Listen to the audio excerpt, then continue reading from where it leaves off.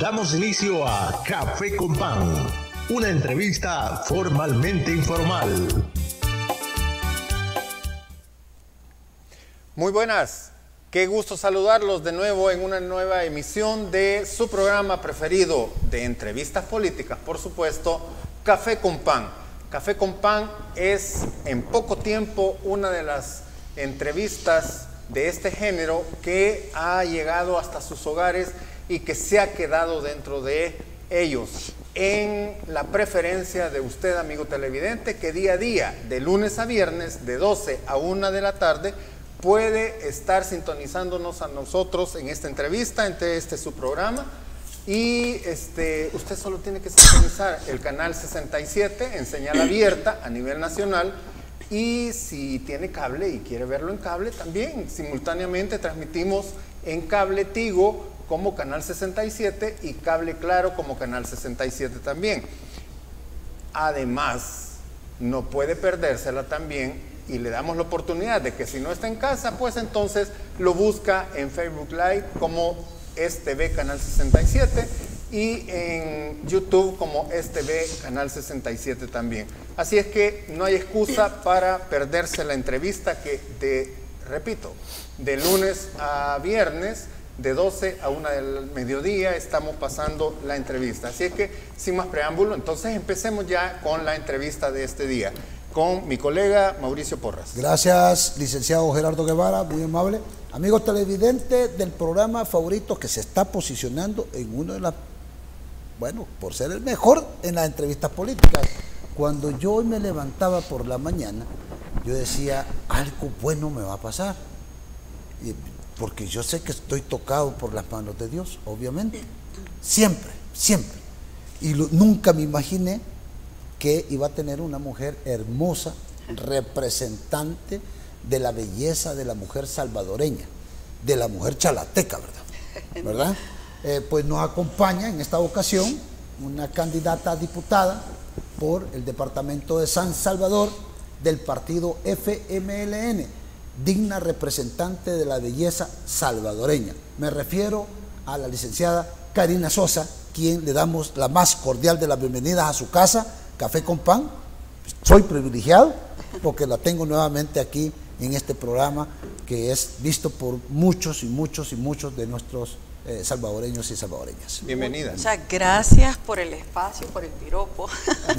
es un gusto estar compartiendo con ustedes una vez más y por supuesto con la audiencia que fielmente los acompaña en cada una de las entrevistas.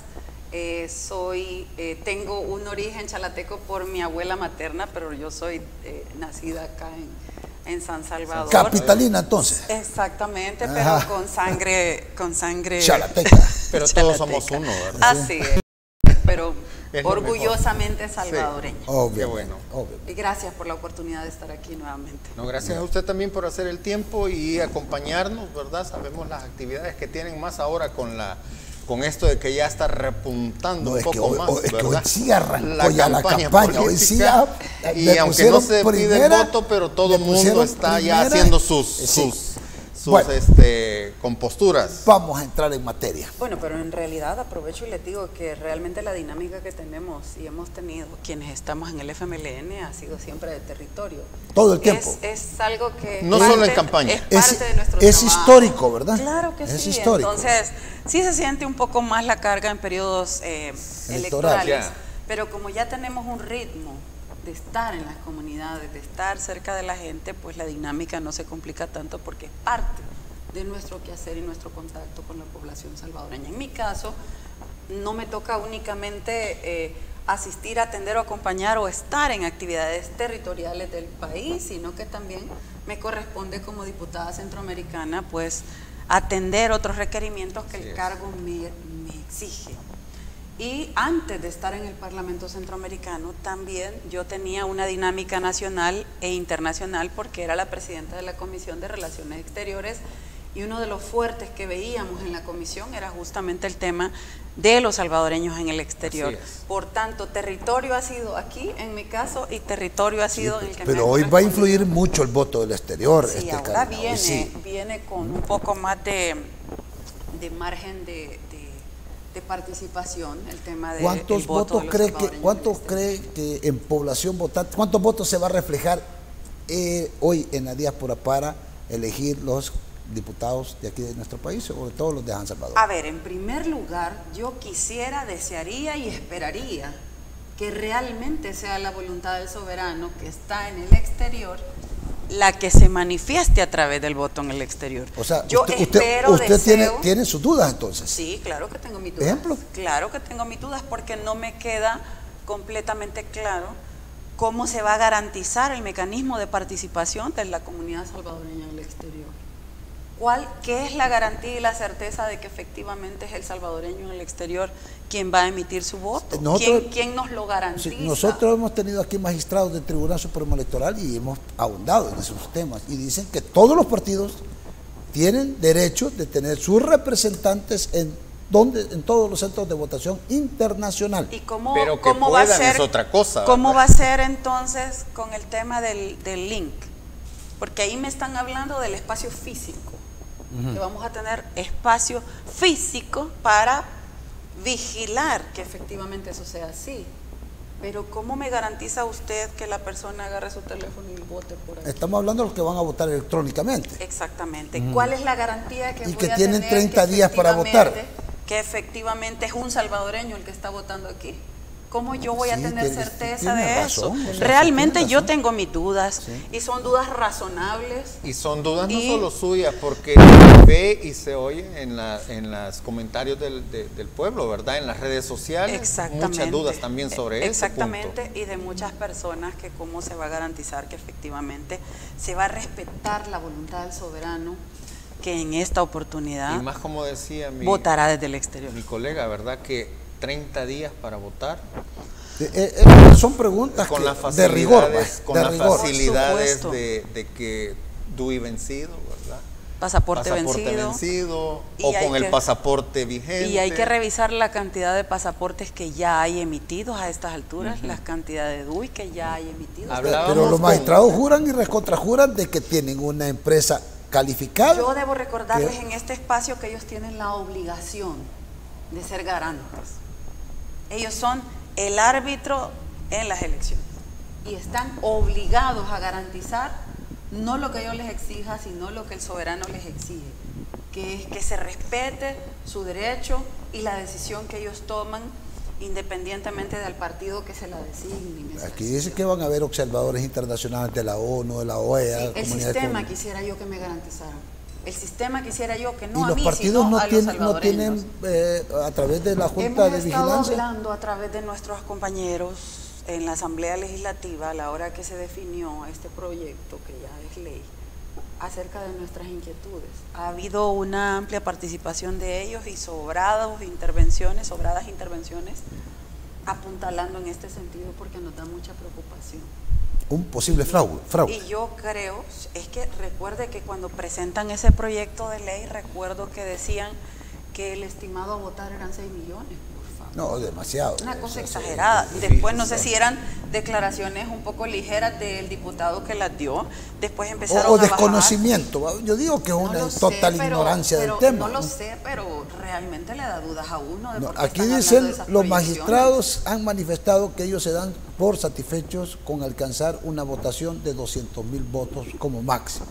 Sí realmente bastante, todavía eso es bastante ambicioso. Eso le iba a decir. Por el histórico que se tiene de votos del exterior. Eso le iba a decir y por eso estaba buscando algunos datos para, para asegurarme que no, no cometer errores. Cuando estuvo el, uno de los licenciados, de, de, uno de los magistrados, perdón, del este, el Tribunal Supremo Electoral entrevistado acá, él dio unas cifras y más o menos son las que tengo acá, son cifras dadas por ellos, ¿verdad? Por, por el Tribunal Supremo Electoral dice que en el, en el 2019 eh, este, habían 303.561 ¿Cuánto, perdón? 303.561 votantes empadronados. Y eso representa, perdón, 303.561 en la diáspora. Y votantes fueron 5.948, el 1.96%. Entonces, para 2024 dice que el padrón ha crecido y eso coincide con eh, uno de los magistrados que dio este número y esos son números del Tribunal Supremo Electoral.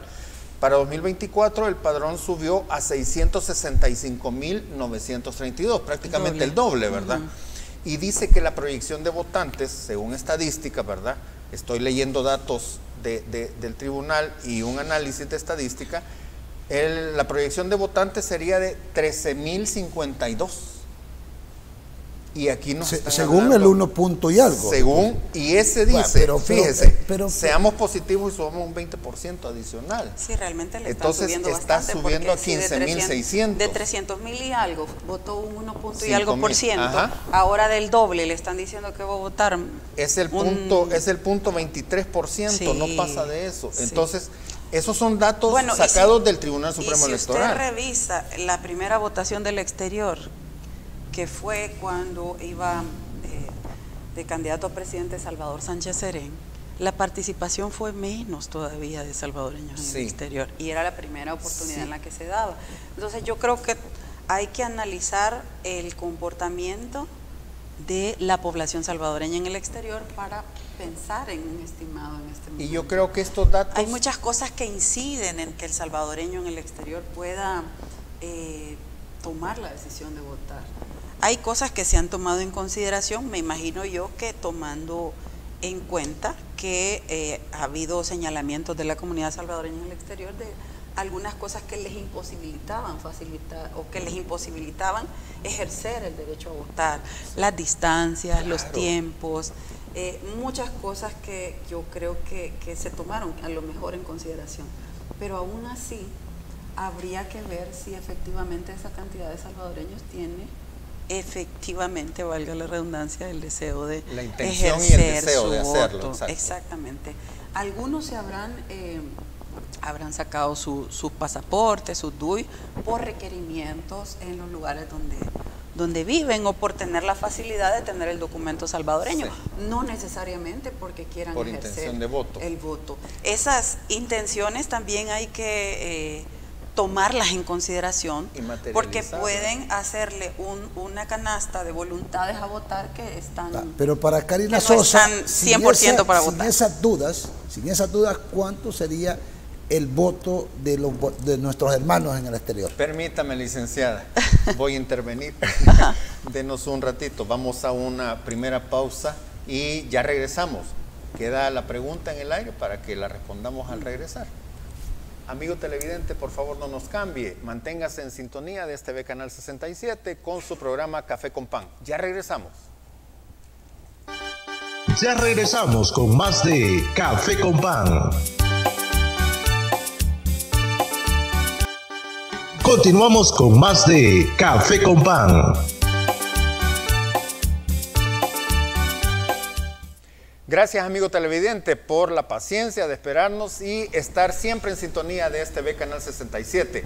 Continuamos en su programa de entrevistas políticas Café con Pan. Tenemos la grata visita en este momento acá en nuestros estudios de la licenciada Karina Sosa. Ella es muy reconocida a nivel nacional e internacional pues ha ostentado varios cargos dentro del partido y dentro del quehacer político nacional.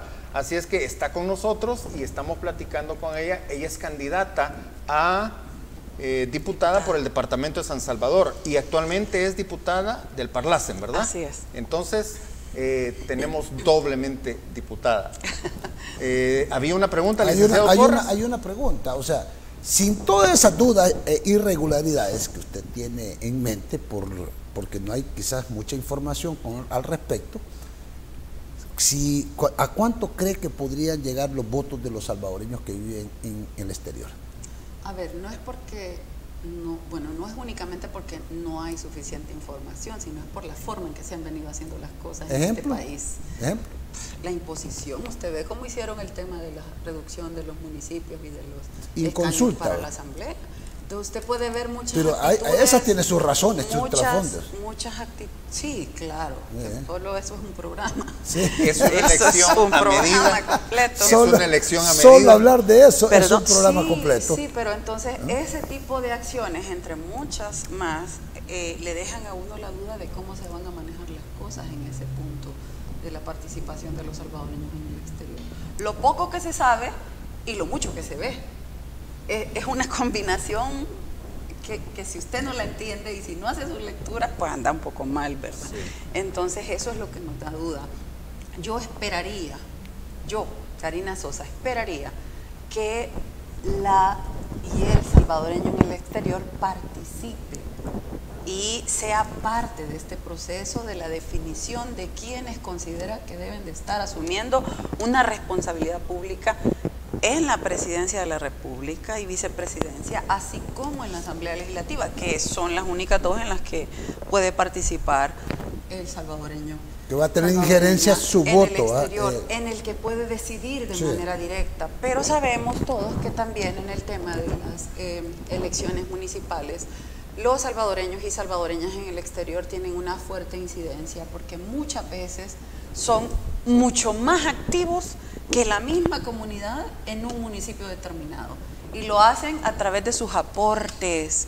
Y conocemos del exterior que hay grupos de oriundos que son muy partícipes, que hacen muchas cosas en función de sus municipios y llevan desarrollo a sus que hoy son distritos. Que es una forma, para mí municipio Y es una forma también es que es la hacer una incidencia. Es que para mí son y serán municipios y trabajaré en la medida de lo y si se pudiera cambiar de, volvieran distrito, las cosas a la ah, normalidad. Yo sería una que trabajaría por eso, porque he entendido el sentimiento de la gente.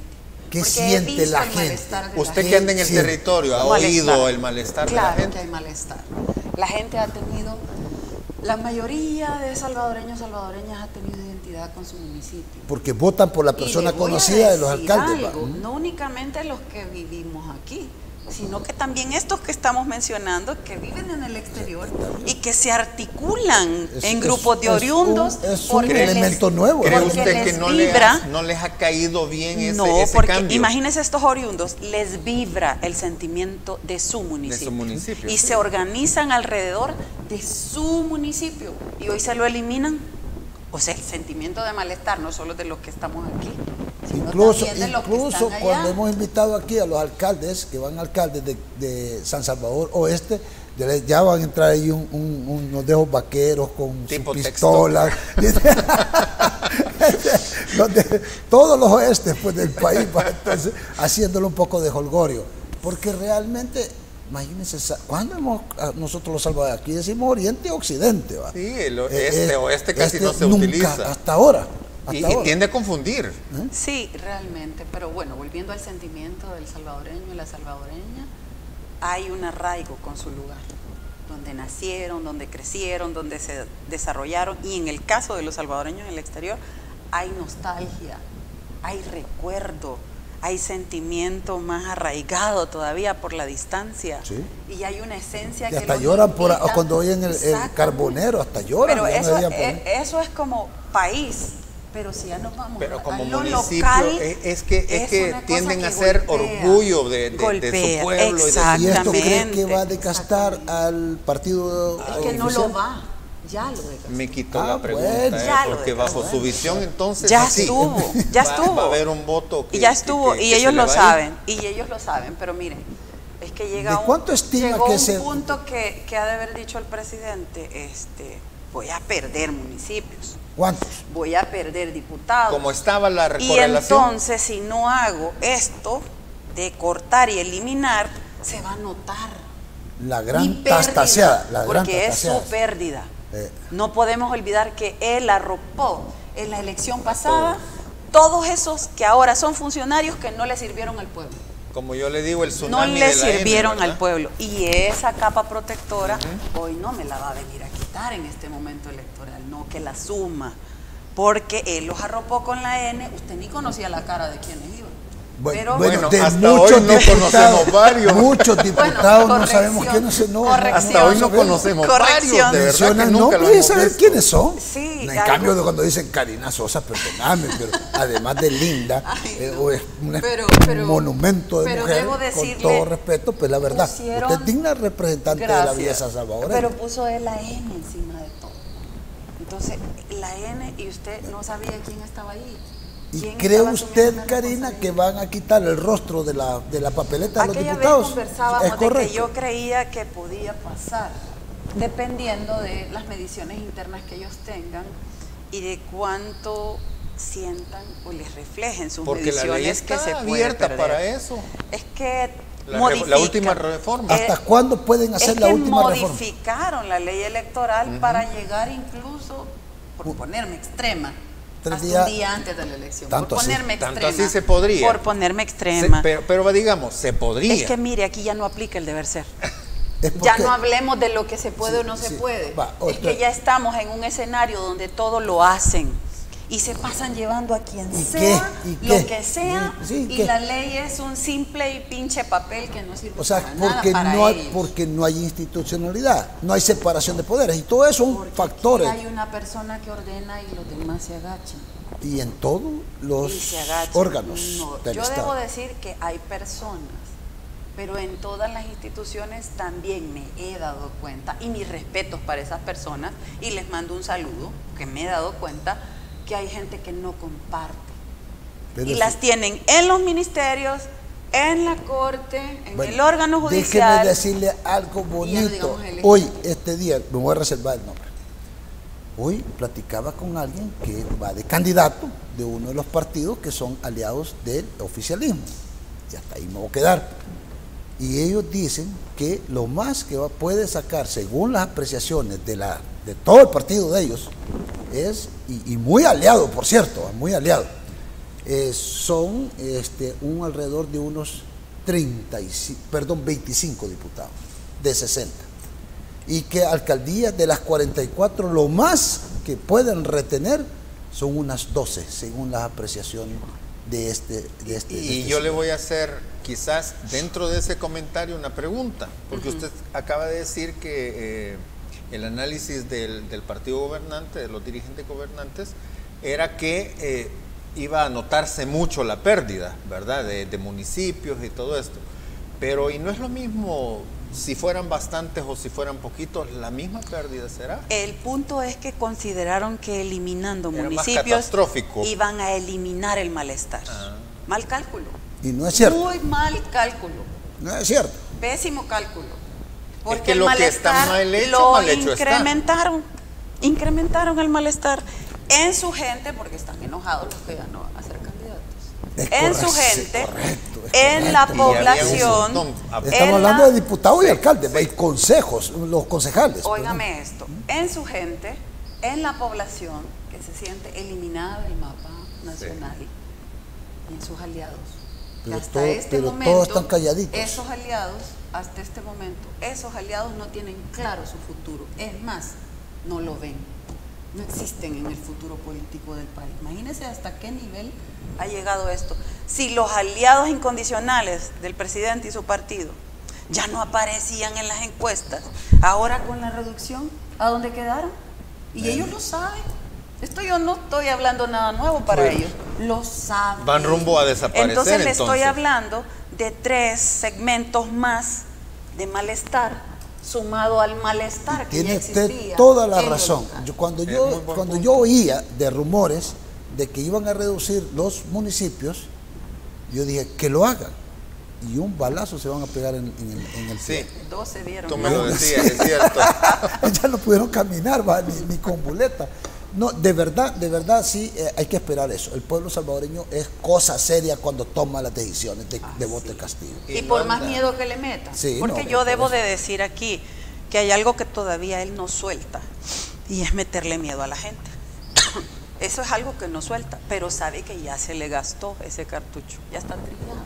Entonces la gente puede tener miedo, se calla, pero a la Evita, hora que tenga la evita. papeleta enfrente, a ver qué puede más. Si el miedo el o el hambre, si el miedo o la necesidad de sentir garantizadas ciertas cosas en su hogar. O la libertad.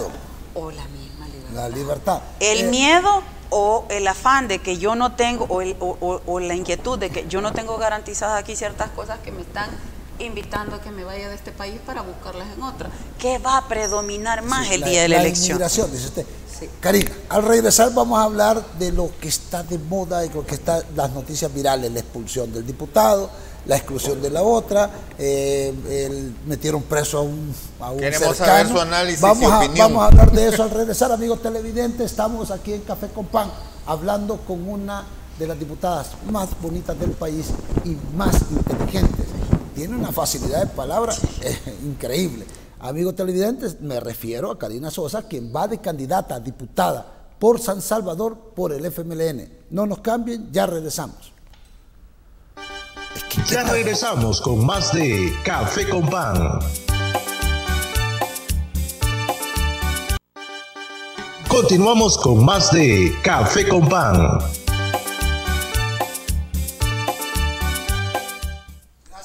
Televidente por continuar en el programa que casi somos el número uno de las entrevistas políticas de nuestro país. Café con Pan, aquí en Canal 67. Estamos conversando con Karina Sosa, quien va de candidata a diputada por San Salvador del partido FMLN. Eh, diputada, hay un gran escándalo en las redes y en los medios de comunicación sobre eh, la detención del señor Alejandro Mason, sobre la expulsión del diputado Eric García y sobre eh, la inhabilitación de la diputada Rebeca Santos. ¿Qué opina de eso? Fíjese que hace aproximadamente mes y medio, dos meses, yo estuve en un programa de televisión, no voy a dar el nombre, Sí, para no, Pero se, yo- no se le publicidaba, ¿no? Sí. pero yo mencionaba... Porque ya somos el número uno. Yo mencionaba que la olla estaba hirviendo en Nuevas Ideas y que cualquier rato la tapa Ya lo veía iba usted. a salir volando. Lo dije para hacerlo más gráfico. Como una especie de meta- me- me- metafórico. Sí, para que se entienda de mejor manera las dimensiones que ya venía teniendo esa situación. Tanto así de grande. Sí, y más con la posibilidad de reducción que no la anuncia el presidente el primero de junio. Sí, ya la sabíamos, ya se rumoraba, ya todos rumorábamos que iba a haber una reducción. O sea, no hubo sorpresa el primero de junio, ya era algo anunciado. Pero porque la gran pregunta es, si nosotros ya lo sabíamos como rumor, todos nosotros, ¿por qué no lo ejecutaba desde que empezó el rumor y nos enteramos nosotros? Porque tenía el freno adentro. Porque adentro tenía un problema. Bueno, yo tengo entendido que hasta los mismos decisión. partidos aliados le decían, no lo haga. Bueno, No pero lo le haga, estoy o sea. hablando de una cosa que le estaba generando ya un problema mayor internamente. Y eso hizo que se fuera frenando desde que nos enteramos como rumor. Hasta el primero de junio habían pasado un par de meses. Bastante, exacto. Sí, yo no sé, ustedes ya también lo sabían seguramente, supuesto, ya lo habían supuesto. escuchado. Entonces, ¿por qué no pasaba? Era porque adentro había problemas. ¿Por No qué? Porque ya no, ya no iban a haber varios, ya no iban a poder estar en sus puestos varios, o, o intentar estar en un puesto varios candidatos, alcaldes, síndicos, Que concejales. ya tenían proyecciones. Claro. políticas, Ambiciones políticas. Deje- dejemos la proyección, que ya habían probado Sí, lo el que era poder, estar en el, el poder, sí. Y no querían quedarse sin ese eso huesito. es Mira, todavía- eso que, te- que vos estás comiendo y que te quitan la Sí, comida y te a quedas con hambre, le molesta. la reacción es, cosa más seria. complicado cuando se está en un partido en el que no se tiene por mística el bien común, transformarle la vida a la gente, sino a ver qué saco y qué tengo yo. Pero si usted tiene principios, valores y se rige por ellos desde que es persona hasta que llega también a un partido político y se desarrolla, si no existe eso, pues usted está ahí pegado con saliva y únicamente esperando que le den y que aparezca una oportunidad para aparecer y Es un figurar. oportunista. Entonces, cuando se mueve la mesa y se sacude y ya no hay espacio para todo, obvio que ahí hay un gran problema interno. ¿Y por qué? Porque no es El Salvador el que está en este- juego, este- sino que es sus espacios que ya habían Y probado este- tener. este problema y los que interno- no habían probado tener habían visto que era bonito Claro, y querían y que tener. no, Sí, el poder Entonces, bonito. Unos querían entonces- entrar y los poder- otros no querían poder- yo salir. debo Halaga. decir que realmente es un problema que venían teniendo y que no ¿Qué tanto lo va a desgastar? ¿Qué tanto ahora va a bien, lo que la pregunta que usted no que usted me hacía, ahora bien, lo que deja entrever esta segmentación de quienes a quienes amerita pasarles la guillotina en la cabeza y a quienes no. Lo que deja entrever es que hay categorías de atención para los que cometen delitos adentro de ese partido. A nosotros nos decían. Y hay unos que sí y hay otros que no. Y hay unos que salen mencionados y hasta he escuchado sus voces en audio confesando delitos. O sea, se refiere usted a, y no pasa nada. a la investigación del faro. Y no pasa nada. Y usted dice, ¿aquí qué pasa? ¿Por qué no tocan a este y por qué tocan a este? Y todavía a este le dicen y le hacen un proceso de antejuicio que no aplica con lo que revelan las conversaciones. Entonces, ¿a quién le quieren jugar la cara? ¿A quién, ¿A quién quieren engañar con esa manipulación de decir pueblo, somos, son capaces, dicen ellos, de hacer lo que otros no han hecho? No, no sean hipócritas. Están mintiéndole a la gente porque ustedes saben quiénes son delincuentes y a quiénes están abrigando y no los quieren tocar. Me imagino yo que porque le saben unas cuantas cosas y tienen miedo que se las destapen. ¿Y usted cree que este señor Alejandro Mason no tiene no tiene algo que no tiene mucho, seguro. mucho mucho que, mucho Mire, yo no sabría decirle que tanto se saben y que tanto no se saben, pero si han estado ahí adentro, yo creo que se conocen bastante bien. Algo. Sí, pero dijeron que era doble agente que le pasaba información a Mauricio para Funes. Para acabarse a cualquiera pueden decir cualquier pueden cosa. inventarse a cualquiera. Yo no estoy justificando la acción de nadie. ¿Y será cierto ese, ese Twitter que puso Mauricio Funes de que sí le pasaba información que tenía relaciones comerciales con él? Quiero dejar algo claro. No estoy defendiendo a nadie. No me consta que han hecho, no puedo decir. Tampoco, está, tampoco está condenando a nadie. y es que es bien complicado lo que ha pasado ahí. Pero, sin embargo, uno hace una lectura de comportamientos y de acciones públicas. ¿Por qué a estos sí y a estos no? Es un señalamiento hasta lógico. Exactamente. ¿Y por qué hay categorías adentro de ellos? ¿Será que estos le saben algo y por eso yo no, no creo que el señor este marroquín tenga más categoría que Mason. Yo creo que estaban al mismo nivel, pienso yo. Estoy hablando de categorías y le digo yo le digo con nombre, nombre y apellido, o sea. Por la información que puedan tener. Lo que ellos manejan. Lo que usted no sabe es que le saben a otros. Y, entonces eso los clasifica en intocables y tocables. Entonces lo que nos están dejando público al país es que hay unos que son intocables yo le preguntaba y que hay otros que se pueden tocar y condenar. dentro del mismo. sí. Hay eh, grupos yo le preguntaba, y hay un quiebre. Yo le preguntaba al doctor, hay conflicto yo le preguntaba ya. al doctor Fortín Magaña que si esto podría ser una cortina de humo y dijo tajantemente que no, que es un pleito real. Mire, está volando la tapadera de la olla que yo le te lo dije Demasiada hace presión. dos meses que empezó a hervir.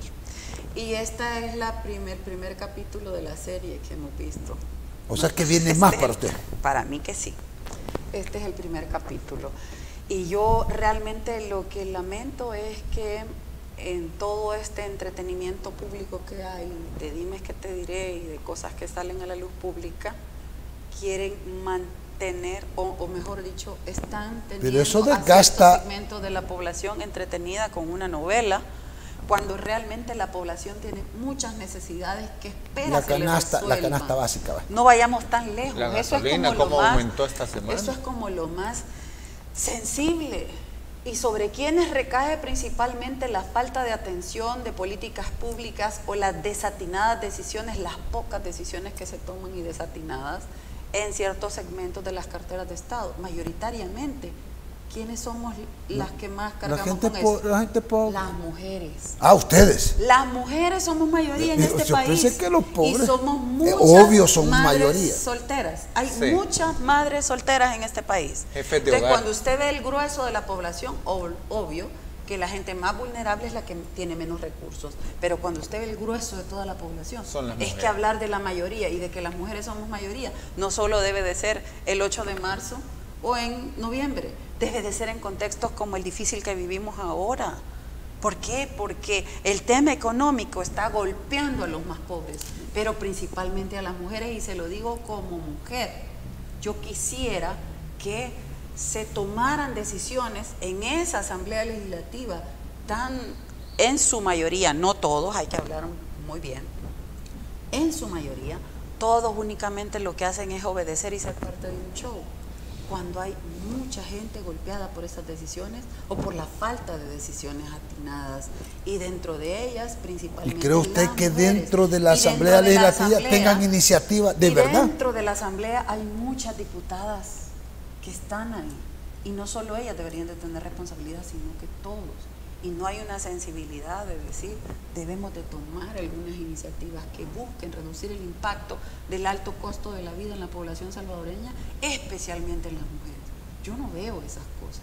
Sin embargo, veo que pleitos de barrio, chambres, eh, desfile de moda, una serie de cosas. Estamos hablando los 20 años. Pero es que la bancada, la bancada oficialista siempre ha tratado de presentar una unión granítica lo cual ahora pues estamos viendo que ya, no, ¿verdad?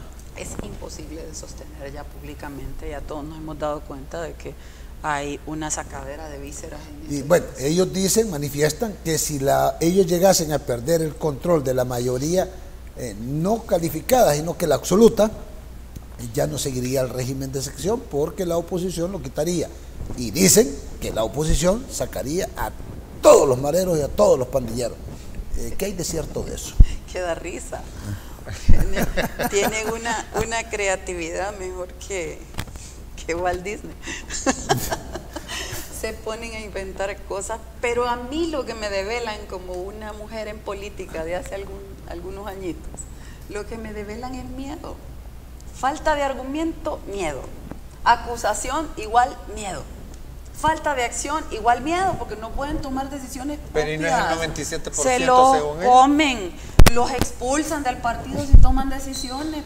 Por Dios, qué terrible condena la que tienen encima. Bueno, no, de no poder ya se puede imaginar alguien, bueno, yo vaya, siendo diputado, y me digan, no hables. Es imposible, Karina. Ya, ya lo hubieran expulsado de hace rato. Yo ya estuviera preso, quizás. Este, vamos a volver en un corte. Sí, vamos a seguir platicando con Karina Sosa, candidata a diputada por San Salvador del FMLN eh, obviamente, ¿qué, qué, entrevista más linda. Bueno, ya volvemos, amigo televidente. Café con pan. Continuamos con más de Café con pan. Gracias, amigo televidente del programa número uno en entrevistas políticas de El Salvador Café con Pan. Estamos conversando con Karina Sosa, una mujer muy inteligente, muy sabedora del conocimiento político eh, pues ella va de candidata a diputada por San Salvador en el FMLN y pues seguimos platicando, Karina, seguimos platicando. Eh, ¿Tienen algún tipo de los de la bancada oficialista tienen eh, iniciativas de ley de verdad, a pesar de que son diputados y diputadas? ¿Tienen de verdad esa iniciativa que la puedan ejercer, que hagan propuestas reales a la población? Ellos ejercen y hacen su papel únicamente cuando les dictan que hay que hacer y en ese margen, en ese cuadrito se pueden mover. Si se salen un pasito de ese cuadrito, corren riesgo de que los saquen del partido.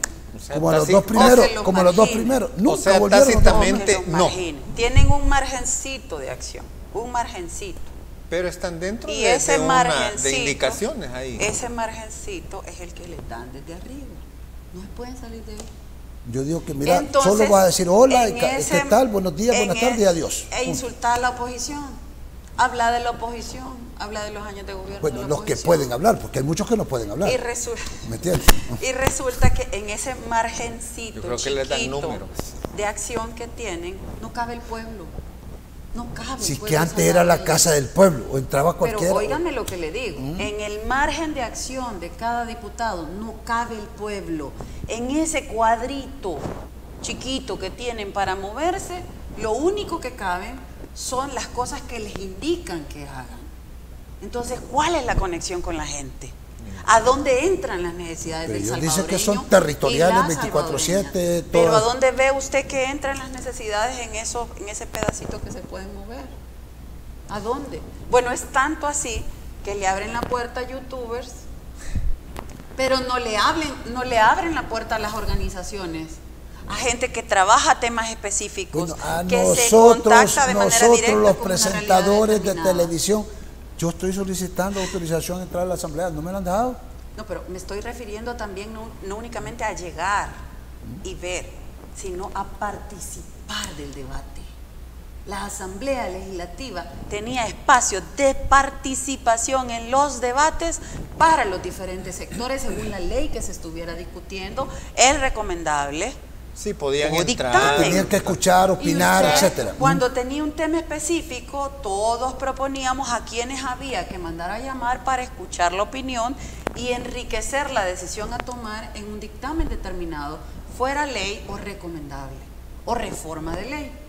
Pero ahora, ¿dónde ve eso usted? No, solo hágase Dos alcaldes llamaron nada más cuando ya estaba la orden de que lo hagan.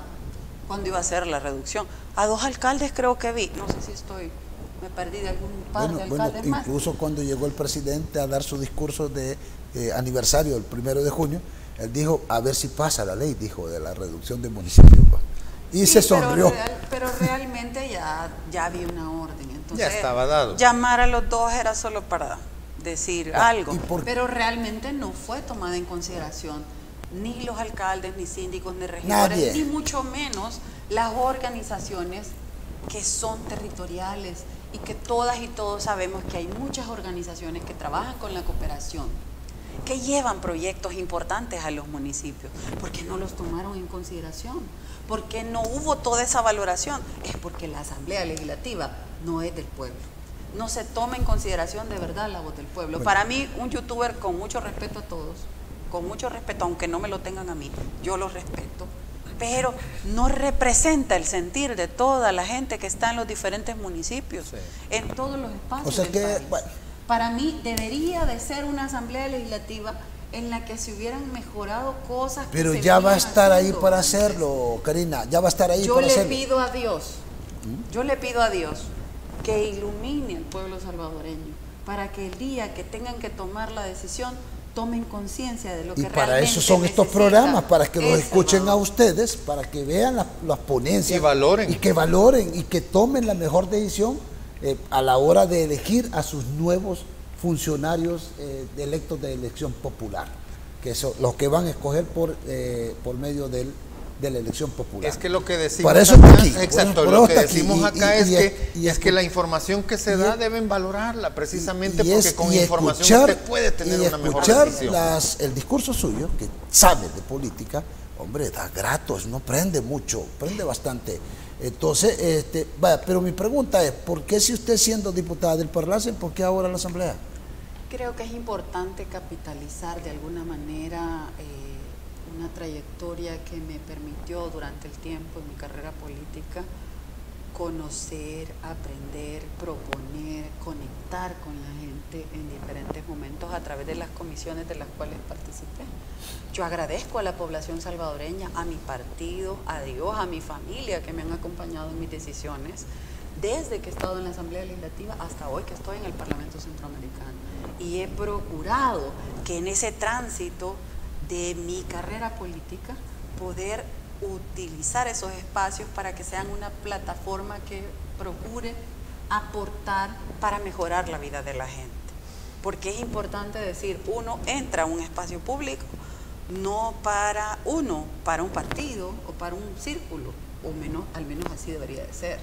No para eso, sino para ver de qué manera usted es productivo, útil y es una pieza importante para poder contribuir a cambiarle la vida a otra gente. Es que de eso se trata la política. como servidor público, es lo que no entiende y hay que asumirlo, un cargo. Y hay que asumirlo como tal. Si usted no tiene vocación, no se meta a ser político. Si usted no tiene vocación de servicio y si usted no entiende que usted únicamente es un instrumento transitorio dentro de la política, porque no es la política la mala, a veces son las personas que no entienden su rol dentro de la política. Como hay muchos que son totalmente desconocidos, que no saben, si nunca no sabe que... es política, para qué le puede servir a la gente y cuál va a ser su papel adentro, no se meta. Porque yo soy una mujer consciente de que el paso durante eh, un espacio político es transitorio y usted debe de rebuscarse por hacer lo mejor posible, no para posicionarse personalmente sino para ver qué huella deja y cómo transforma la vida de la gente. Eso da satisfacción personal cuando hay verdadera vocación de servicio. Si no la hay, realmente el camino es equivocado a quien toma la decisión. De acuerdo, pero la gente, cuando usted habla así, a nivel de toda la población y cuando los políticos van a dar sus discursos, todos hablan bonito. Y la gente no les cree porque la gente quiere ver hechos. Exactamente. ellos quieren ver hechos. Y eh, en el caso particular que usted me preguntaba de la decisión, pues en mi caso pueden revisar también la trayectoria política y en qué espacios he participado y lo que se ha producido en los espacios que hemos participado. Me siento muy satisfecha de que pasé por la Asamblea Legislativa y la comisión que me tocó dirigir era una de las cinco comisiones que más producía en cuanto a legislación, reformas y dictámenes. Y tuvo un acercamiento muy estrecho en ese momento con la comunidad salvadoreña en el exterior. Abogamos mucho por los salvadoreños en el exterior. Estuvimos muy cerca de los salvadoreños con TPS, algo que esta Asamblea Legislativa ha soltado y prácticamente los ha dejado cabildeando Los salvadoreños han conseguido allá la Asamblea por las y el gobierno. ¿verdad? Eso es importante decir. La Asamblea y el gobierno los dejaron solos Miren, ese pleito que ha tenido el presidente con el presidente actual de Estados Unidos, no tenían por qué pagar los platos rotos los salvadoreños y particularmente los que tienen ¿Continúa ese pleito? Qué pena que han tenido que llegar a hacer protestas a la entrada de la embajada del Salvador porque no les recibían una simple carta para que los acompañaran como los había acompañado antes el gobierno que teníamos nosotros en el cabildeo en Senado y Congreso, llegar a pedirle al gobierno que, los acompañen, eso es vergonzosísimo, eso es penoso. Si el papel debe de ser acompañar, independientemente de los pleitos que pudiera tener con el presidente en turno de Estados Unidos, y no que dicen que se deben a los salvadoreños, pues, pero como usted dice, hay que ir a la práctica para darse cuenta que tan cierto es lo que hablan y lo que hacen. Solos los dejaron a los TPS solos. y han logrado cosas, como usted muy bien lo dice, por su propia lucha. Y ahí uno de los que salimos a, y ahí están pedir. Las noticias.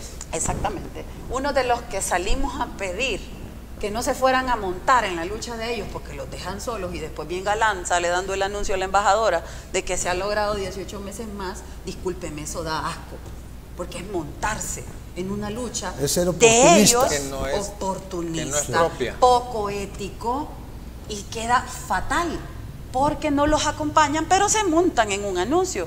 Si yo creo que no pusieron más letras en ese tweet porque de plano no había para dónde justificar el cero acompañamiento que les habían dado. Ahora mi reconocimiento y mi respeto una vez más para los salvadoreños en el exterior particularmente para los compatriotas que están amparados a TPS y a los Dreamer, a los soñadores también, que han estado haciendo una lucha solos. Titánica. Pero no han claudicado y han seguido insistiendo, insistiendo, y debo decirles que varios de ellos que han acompañado la lucha tienen un estatus permanente, pero han sido solidarios y empáticos con, con quienes no lo tienen. Valores que en este país, lamentablemente, ese partido ha procurado que el salvadoreño pierda. Yo invito a la población salvadoreña a que no dejen que les toquen algo que cuesta tanto construir en una familia, valores y principios. La solidaridad y la empatía ha sido algo que ha marcado al salvadoreño donde quiera que va, además de trabajador. Eh, es algo que nos marca y que nos hace brillar en cualquier lugar que estamos. No perdamos eso. No permitamos que nos hagan perder eso. Yo creo que hay que recuperarlo y hay que ser solidario y empático. Y si alguien está bien, debe de pensar en el que está mal y buscar la forma de empatizar y actuar. Ser solidario. Lo que más vemos es que se ha promovido la cultura de que vos tenés que estar bien y el, el otro que importa cómo esté. Y, la cultura también pone dedo a que alguien hace, y, se hace aquellos grandes escándalos, aquellas grandes cosas, donde un enemigo o alguien al que le cae mal perfectamente le puede hacer un escándalo en redes y se lo acaba. y esto no va solo con políticos, eh, esto va con cualquiera. Ya, se nos acabó el tiempo, Santo. Nos hubiera gustado hablar más, ya la veía bien yo, emocionada. Yo quería hablar ya del partido, o sea, cómo se ha fortalecido, cómo está organizado, pero en otro programa próximamente, próximamente, Tercera parte dentro de poco, dentro de poco. Amigo televidente, hemos llegado al final de la entrevista de Café con Pan. Obviamente, yo siempre envío un, eh, un mensaje de reflexión y eh, así dice así, que hoy tengan uno de esas tardes bonitas que alegran el alma. Bendiciones a todo nuestro país, a este bendito terruño salvadoreño y, sobre todo pues estar con personas como Karina Sosa, quien es candidata a diputada, lo repito y lo repito porque la gente eh, no se le olvide, candidata a diputada por el departamento de San Salvador por el FMLN. Eh, Karina Sosa tiene un minuto para... Bueno, muchas gracias. Menos de un minuto porque ya le robé mucho. Eh, muchas gracias por darme la oportunidad de poder conversar nuevamente. Habíamos quedado algunos temas pendientes y todavía tenemos. Y ahora quedamos con más. Pero les agradezco la oportunidad y por supuesto un saludo a la audiencia que está muy fiel, pendiente al desarrollo de, este, de esta entrevista y que los acompaña durante el resto de actividades que ustedes realizan desde este espacio. Un saludo especial a la comunidad salvadoreña en el exterior, a quienes eh, he acompañado en algunos momentos, como mencionaba, y estamos dispuestos a seguir acompañando desde el espacio donde el pueblo salvadoreño nos ubique. Excelente. gracias, gracias Karina. Gracias, muy amable por venir aquí a Café con Pan. De verdad, muy amable. Ha sido una grata compañía. Eh, una persona que sabe mucho, tiene mucha experiencia política. La licenciada Karina Sosa, que hoy por hoy es diputada del Parlacen, pero también está buscando en estas próximas elecciones una candidatura como diputada por el departamento de San Salvador por la bandera del FMLN. Así es que ha sido muy gratificante platicar con usted. Queda desde ya totalmente invitada para otra vez la tercera parte, ¿verdad? No hay segunda sin tercera, así es que la, la invitación está hecha y cuando agendemos, pues con todo el gusto. Aquí es su casa también, Café con Pan, la recibe con los brazos abiertos. Gracias a usted también, amigo televidente. Recuerde que eh, trabajamos definitivamente para que usted tenga mayor información, mayor conocimiento y que tome las mejores decisiones, no solo políticas, sino que en su vida usted debe informarse, no solo con nosotros, sino que con los diferentes medios que tenga a su disposición, porque eso le da empoderamiento y eso es lo más importante para una persona. El conocimiento es poder, así es que búsquelo. Gracias por estar con nosotros con este B Canal 67 en una emisión más de su programa Café con Pan. No me resta más que decirles que nos acompañen en la próxima emisión de lunes a viernes de 12 a 1 de la tarde. No se pierdan ninguno de nuestros programas porque como esta entrevista siempre están interesantes. Así es que muy amables por su audiencia y que Dios me los bendiga, les guarde y les proteja a ustedes, su familia y en todos sus quehaceres. Bendiciones y hasta la próxima. Finalizamos la entrevista Café con Pan, una entrevista formalmente informal. Los conceptos vertidos en el programa anterior son responsabilidad directa de quien los emitió. En ningún momento representan la línea editorial de esta estación televisora.